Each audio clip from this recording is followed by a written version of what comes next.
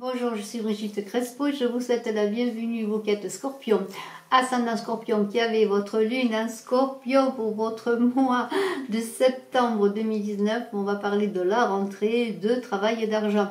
Alors je suis médium et vous avez sous la vidéo mon site web et ma page Facebook si vous désirez une consultation en privé. Vous avez mes coordonnées téléphoniques. Alors pour le concours des 10 000 abonnés qui verra deux gagnants, bien je vous invite, si ce n'est déjà fait, à vous abonner pour participer. C'est tout simple et en vous abonnant.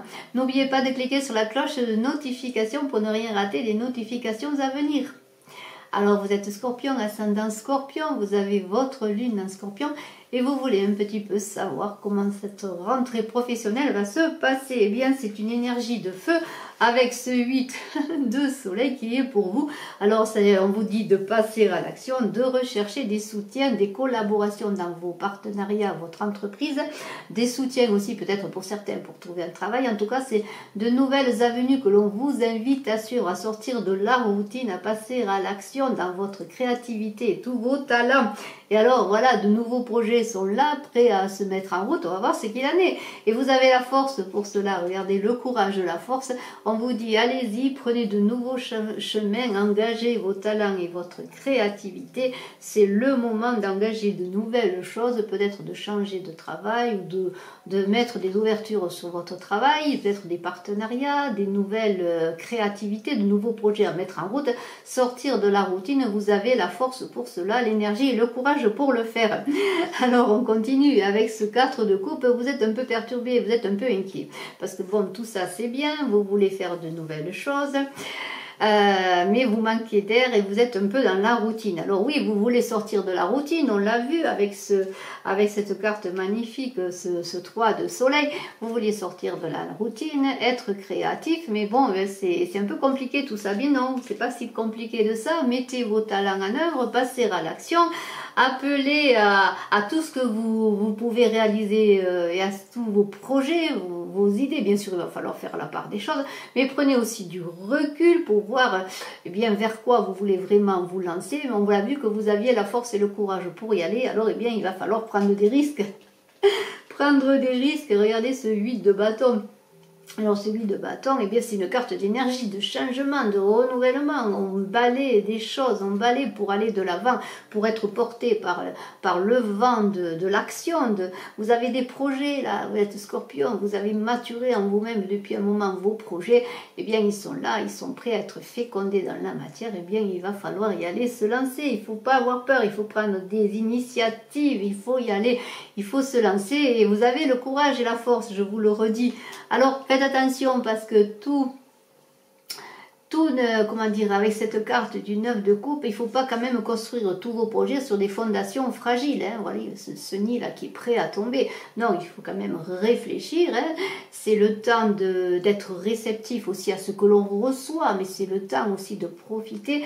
Et on parle dans cette carte aussi, si vous stabilisez vos entreprises, si vous êtes dans la, maturation, mais dans une maturation pour aller vers une concrétisation affinée, pas dans, dans des choses branlantes. Non, il faut quand même que vous sachiez vers quoi vous allez aller, eh bien vous allez trouver la fin des soucis parce que vous allez sortir d'une routine qui vous ennuyait, d'un travail qui ne vous convenait pas, peut-être de, partenariats qui vous ne convenaient pas non plus. Vous allez aller vers de nouveaux objectifs. Pour certains, on va le voir peut-être faire des formations, apprendre de nouvelles choses.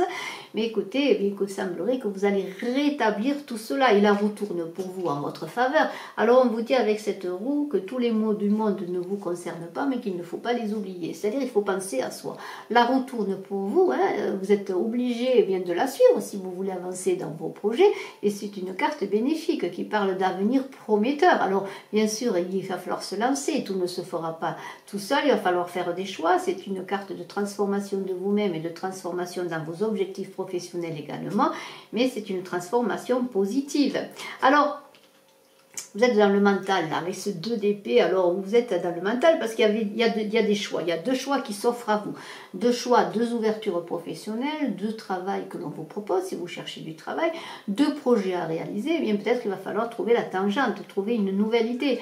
Il semblerait que les deux choix ne vous satisfassent pas, qu'il y a des compromis à faire, alors c'est un, il y a des difficultés dans votre travail, alors peut-être eh bien remettre un peu les choses euh, à zéro, les compteurs à zéro et revoir un peu vers quoi vous voulez aller et peut-être prendre une nouvelle direction, pourquoi pas. Mais vous allez le faire avec euh, cette manifestation de la reine d'épée. Et cette reine d'épée, eh bien, elle n'a pas peur des épreuves. Même dans les épreuves, elle trouve un réconfort parce qu'elle veut se battre.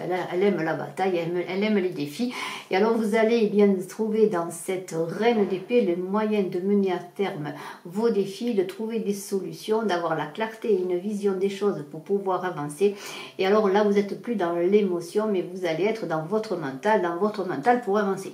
Alors faites attention, vous avez eu beaucoup de difficultés peut-être, mais que le poids du passé avec ce neuf de bâton ne vous écrase pas. Regardez de l'avant, toujours de l'avant, ne vous retournez pas, vous seriez écrasé par des difficultés qui ne sont plus de l'ordre du jour. Vous avez trouvé des solutions et vous allez trouver des solutions. Vous avez le vent en poupe, il faut avancer.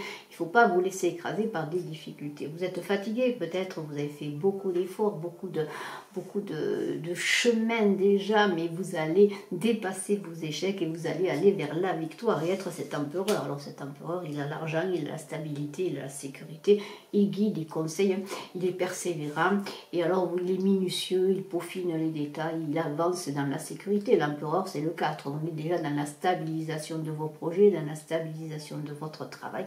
Vous commencez à bien mettre les cadres, les fondations. Et si encore c'est un travail qui n'est pas complètement accompli ou si c'est un nouveau travail, eh bien vous êtes avec ce roi de denier déjà dans la satisfaction matérielle. Vous commencez déjà à. Il semblerait que votre travail porte ses fruits vous continuez à être assidu dans votre travail, perfectionniste, dans cette vision de l'empereur et de roi. Donc vous avez l'empereur qui se bat, qui avance, et le, roi de denier eh bien, qui commence à engrager le fruit de ses efforts. Et alors, il y a des choses qui vont se passer qui vont vous disperser un peu. Alors attention de ne pas tout mélanger avec ce, celui, de, celui de coupe. Hein. On dit que chaque émotion est non afférente à l'autre. Alors s'il y a des perturbations, des émotions, et ces émotions parlent aussi de choses à régler différentes, eh bien, réglez-les les unes après les autres, les choses après les autres, elles ne sont peut-être pas dans la même, dans la même, euh, dans la même, euh, euh, unité, c'est-à-dire qu'il y a des choses différentes à régler qui ne sont pas peut-être en corrélation les unes avec les autres. Alors, eh bien, écoutez, vous allez trouver une solution pour réunifier peut-être vos émotions, réfléchir, faire le bilan et la balance déjà de tout ce que vous avez fait, voir vers quoi vous voulez avancer et vous voulez avancer comme ce valet de denier, de, coupe, pardonnez-moi, qui a son cœur dans la main, qui donne son cœur, qui est dans la jeunesse, qui fait des rencontres, qui est inspiré, qui est dans la jeunesse et la connexion à tout ce qui se passe, aux nouveautés. Il a le vent en poupe, il avance, il est dans, il veut, il veut créer, il veut être innovant. Et alors vous allez être dans un travail, comment dire, un vent d'espoir qui va vous pousser à être innovant, à réaliser encore de nouvelles choses, et vous allez être avec ce diable dans une réussite ou l'échec. Alors méfiez-vous, c'est à double tranchant cette carte. Il y savez, le vent, un vent qui vous pousse, un vent d'espoir, de réalisation, mais soyez quand même dans l'équilibre, ne soyez pas trop passionné, hein, soyez quand même équilibré, soyez plus empereur que valet, et soyez quand même dans la sécurité, dans tout ce qui est sécurisant, ne faites pas n'importe quoi, n'ayez pas des idées farfelues, et ne voulez pas, ne voulez pas non plus, avec ce diable, comment dire, un peu, être au-dessus de tous les autres, voilà, vous êtes, il vous faut chercher l'équilibre en vous-même et l'équilibre dans votre travail.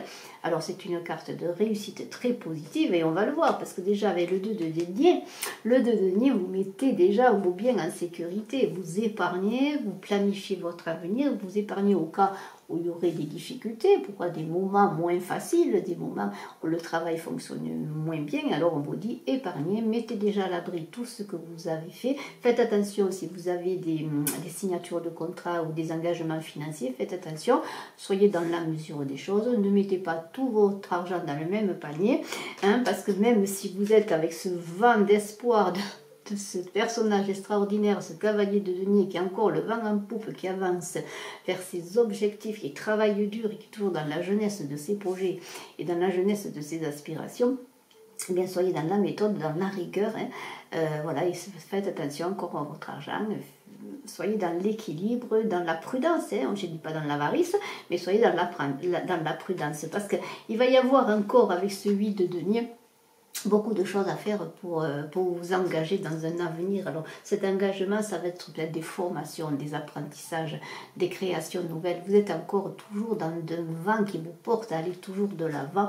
Vous avez un dynamisme certain et vous avez, euh, comment dire, euh, tout, tout, tout vous réussit. Regardez ce personnage, il a, il, a, il a réussi à engranger beaucoup d'argent, mais il ne faudrait pas que cet argent soit le but le but principal de sa vie, eh bien non, que l'argent et la réussite professionnelle ne soient pas le but principal, parce que vous avez envie d'autre chose, vous avez envie aussi de vous élever sur le plan spirituel et d'avancer vers vraiment ce que vous désirez. Ce que vous désirez, c'est être bien dans tout ce que vous faites et dans vos réalisations. Et pour cela, eh bien, il va falloir trancher dans le vif avec ce zaline, trancher, faire comme l'épée qui sépare pour vous réunifier, pour sortir des, des normes étouffantes. On l'a vu, vous êtes ce ce, cavalier d'épée qui voulait aller vers un nouveau vent, un vent d'espoir, vers des choses nouvelles, eh bien vous allez trancher, trancher parce que vous êtes peut-être vous êtes installé peut-être maintenant dans une routine qui ne vous satisfait pas et vous allez encore trancher pour avancer, pour faire de nouvelles réalisations et je vous en félicite.